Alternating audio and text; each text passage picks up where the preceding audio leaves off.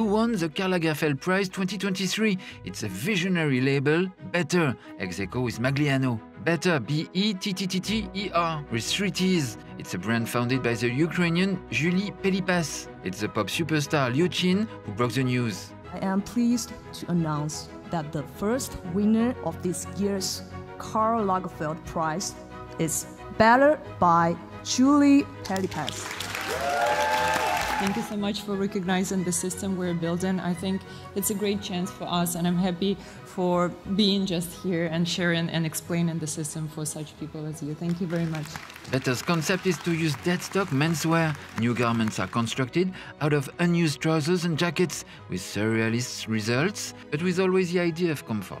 So it's not solely about design, it's also about a very practical approach of how clothes serve a person, not the opposite.